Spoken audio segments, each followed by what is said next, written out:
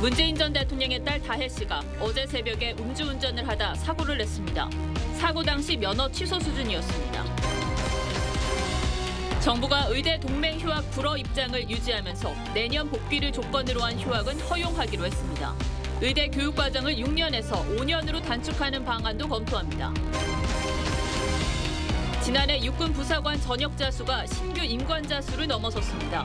올해는 전역 희망자 수가 더 늘어 역대 최대를 기록할 전망입니다. 가자지구 전쟁이 이어진 1년 동안 4만여 명이 숨졌고 이 가운데 만여 명의 어린이가 목숨을 잃었습니다. 영국, 미국 등 세계 곳곳에서는 휴전을 촉구하는 반이스라엘 시위가 벌어졌습니다.